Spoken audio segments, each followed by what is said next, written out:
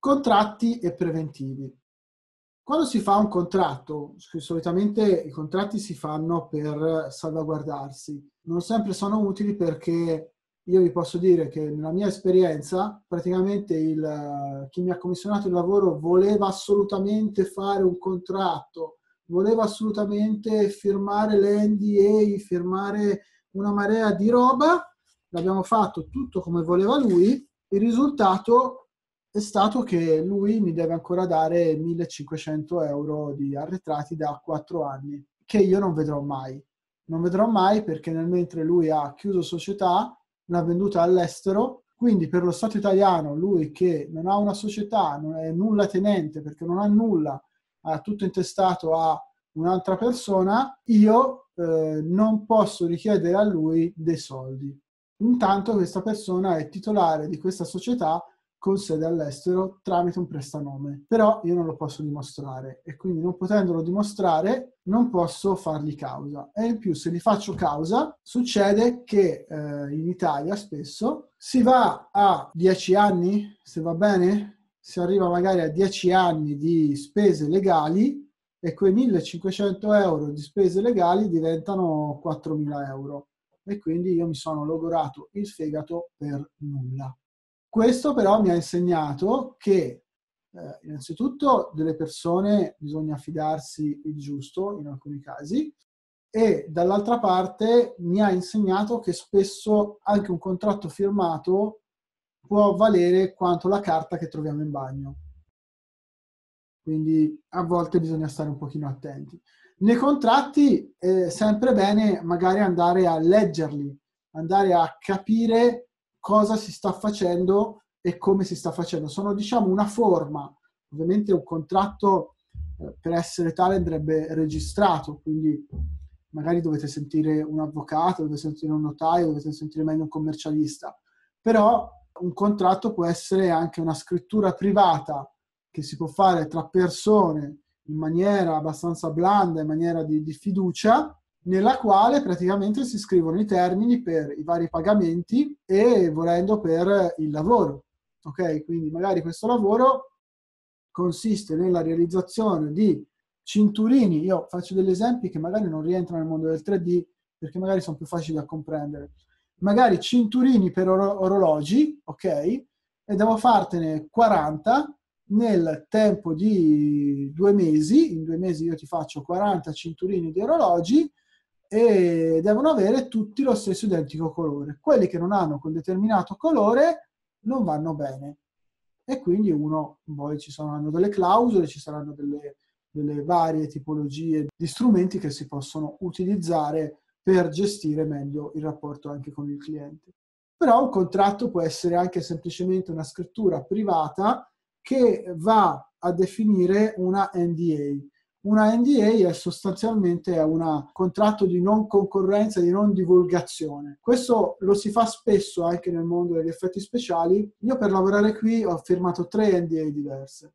Non vi posso dire con chi, perché nell'NDA c'è scritto che non posso dire con chi ho firmato l'NDA, però ho firmato tre NDA diverse, le quali mi obbligano a non fare eh, determinate cose, a non dire determinate cose. Perché? Perché potrebbe essere un danno non solo per l'azienda che magari, o per me, ad esempio, mettiamo caso, okay, che io produco custodie per hard disk, per la Western Digital. Eh, mettiamo caso che nel mio contratto c'è scritto che io non posso dire che faccio le custodie per la Western Digital, va bene? E non posso neanche pubblicare le foto.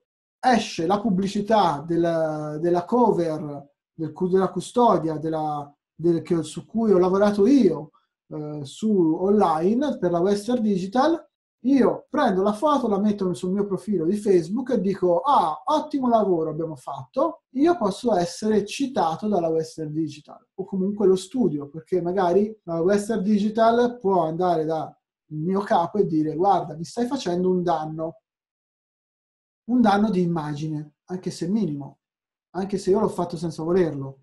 Quindi magari la Western Digital smetterà di lavorare con quell'azienda o con me. Di conseguenza, io non avendo più lavoro perché ho violato questa NDA, mi ritrovo a rifare le famose USB per i cani e gattini.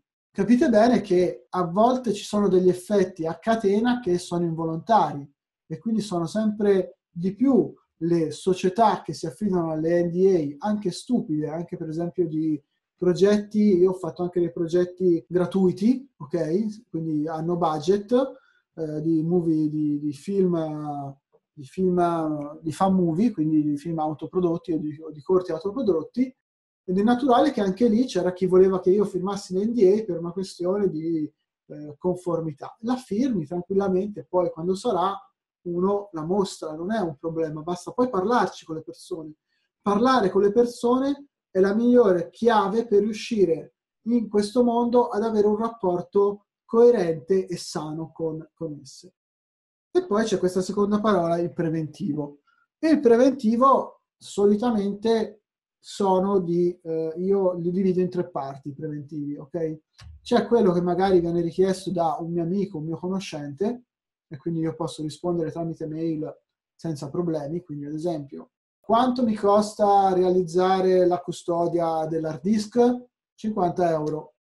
Oppure uno un pochino più articolato, uno in cui c'è bisogno di definire all'interno del, di tutte le voci, che poi le voci sono magari quello che viene fatto, la quantità per cui viene fatto. Esempio, eh, una volta ho dovuto fare un preventivo per una eh, società che voleva fare un display per una macchina da caffè, voleva le simulazioni di come scendeva il caffè nelle tazzine e mi aveva chiesto 60 simulazioni differenti da fare in due mesi, ok? 60 differenti di cui ognuno con tipologia diversa di, di caffè, perché in Italia poi abbiamo il caffè in un modo, in un altro, in un altro. Ad ogni modo, preventivo era composto da prezzo per simulazione, questo, quantità 60, aggiunta di tasse, quindi uno schema che raccorpava anche le tasse, prezzo finale e volendo in fondo il prezzo, siccome magari 60 simulazioni, io non mi nascondo a dirvi che gli avevo chiesto circa 85.000 euro, gli ho detto bene, però lo dividiamo in tre parti. All'interno del preventivo c'erano anche divisione primo saldo a conto 25%, a metà lavoro il restante 50% e il restante 25% a fine lavoro, con volendo clausola di poterlo pagare a 60 giorni. Quindi preventivo un pochino più strutturato che contiene i dati e contiene anche alcune informazioni basilari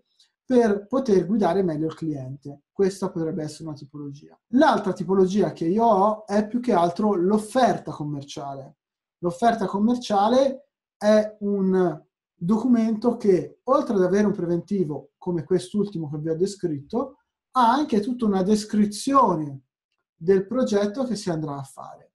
Quindi ha tutta una descrizione di il progetto partirà, sarà fatto tra persone con questi dati, quindi la società X e la società Y, è quasi un contratto, si impegnano a sviluppare questo progetto insieme. Di conseguenza verrà realizzato questo determinato effetto, simulazione per eh, e tutta una serie di altre belle parole che vanno a descrivere il nostro eh, oggetto.